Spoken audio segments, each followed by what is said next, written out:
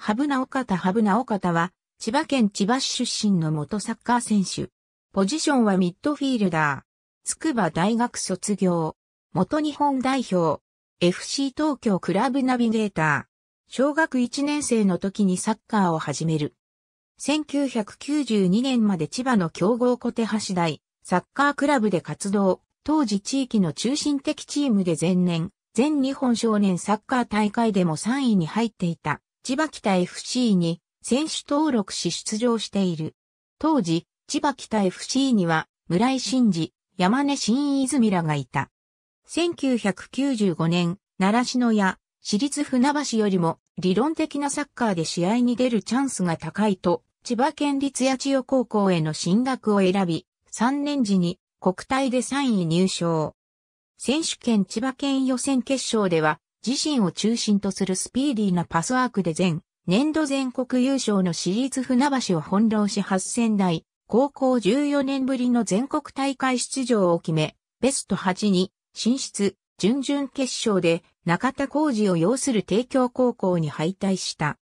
1998年、筑波大学に進学し、同大学の週休部でプロ入り後に通じるボールに絡みながらスペースで生きるプレースタイルを体得。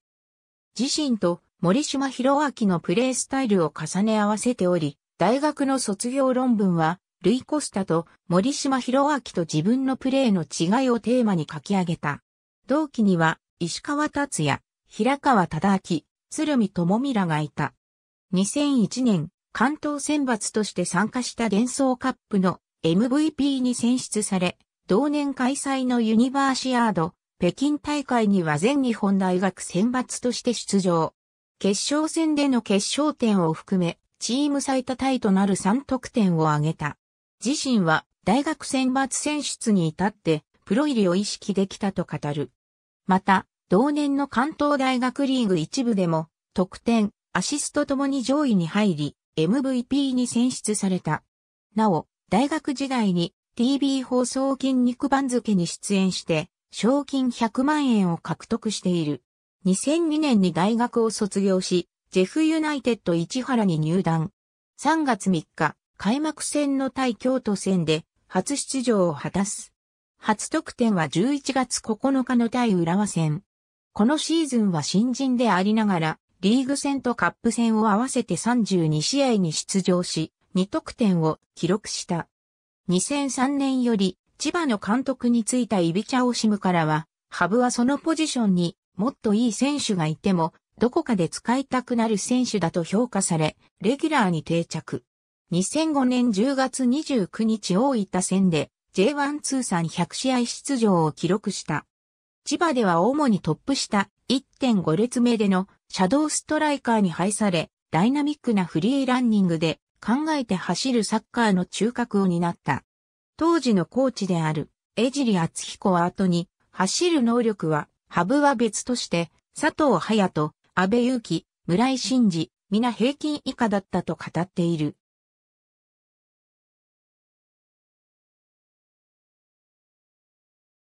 2006年、オシムが日本代表監督に就任すると代表合宿に招集され、8月16日のアジアカップ2007予選単イ面戦で国際 A マッチ初出場を果たした。翌2007年の本戦にも代表メンバーとして参加。途中出場ながら効果的な飛び出しと鋭い突破でアクセントとなり5試合に出場したが、再三の決定機を決められず、3位決定戦の対、韓国戦では PK 戦で失敗し敗退。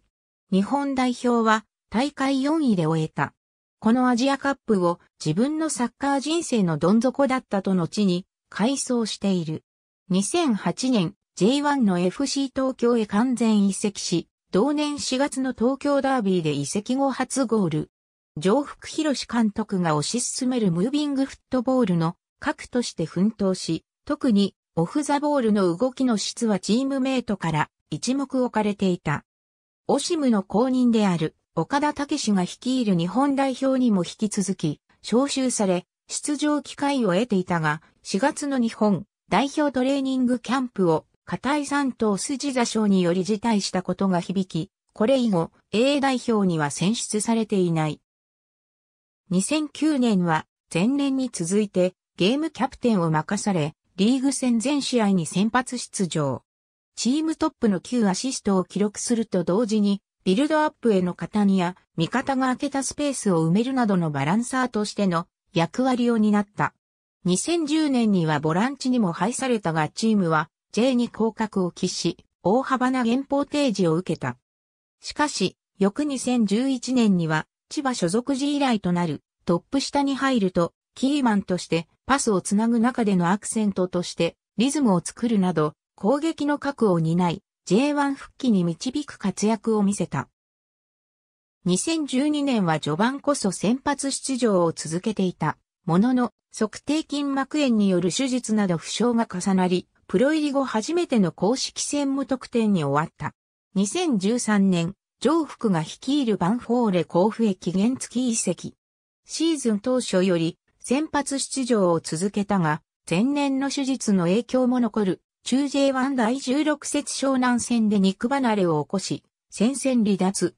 ハブ不在の間に、チームは守備的なシステムへと変更して調子を上向かせたこともあり、これ以降出場機会を激減させた。また、前年に続き、公式戦無得点に終わった。甲府では副賞を務め、選手ミーティングを主導したほか、上福と選手の間での橋渡し役を担い、厚い信頼を得ていた。遺留を受けていたものの、責任を取りたいという自身の希望により、移籍期間を延長せずに退団。2014年、FC 東京へ復帰。若手登用を進めるマッシモ・フィッカデンティ監督によって、序盤はターンオーバーでの起用が続いたが、細やかなポジショニングと気の利いたプレーを見せ、途中投入の際には、試合終盤の足が止まる時間帯に的確な判断でチームを後押し。この年になって初めて守る楽しさが分かってきたと精緻な守備戦術にも順応し、シーズン半ばよりフィッカデンティからの信頼を確たるものとし、インサイドハーフのポジションを奪取した。2015年も優れた戦術眼による好判断で守備戦術を機能させ、ゲームコントロールの一翼を担った。東京在籍中には数度の監督交代を経験したが、その度に高い戦術理解度を発揮し、チームを助けた。周囲からは FC 東京残留を望まれていたが、安定した立場で引退を迎えるよりも、選手としての挑戦を選び、2017年にジェフユナイテッド市原、千葉へ完全移籍。10年ぶりの復帰となり、副賞を務めた。2018年1月5日、現役を引退することを発表された。2018年1月、FC 東京強化部スカウト担当に就任。2020年1月23日、FC 東京の新体制発表会で、クラブナビゲーター就任が発表された。ありがとうございます。